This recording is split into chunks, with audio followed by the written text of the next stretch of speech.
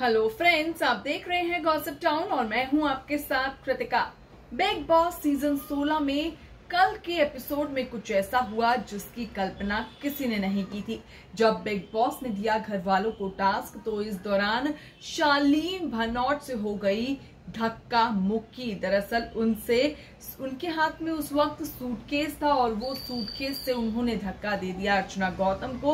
और ये बात घर वालों को बिल्कुल भी रास नहीं आई है।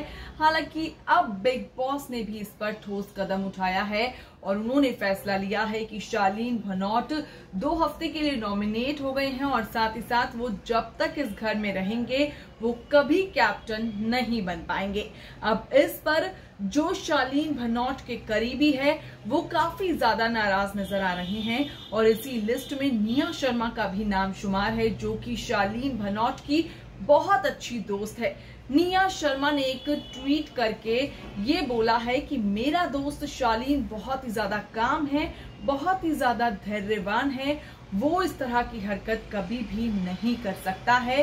बिग बॉस को इस तरह की कोई भी सजा देनी ही नहीं चाहिए थी।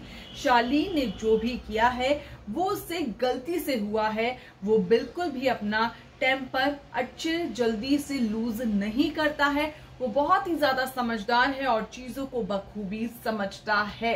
इस बात से निया की ये साफ़ है कि वो बिग बॉस के लिए गए फैसले द्वारा बहुत ज़्यादा आहत है और वो इस फैसले से बिल्कुल भी खुश नहीं है और उनके मुताबिक बिग बॉस को ऐसा फैसला नहीं लेना चाहिए था क्योंकि शालीन ने कुछ भी जानबूझकर नहीं किया है।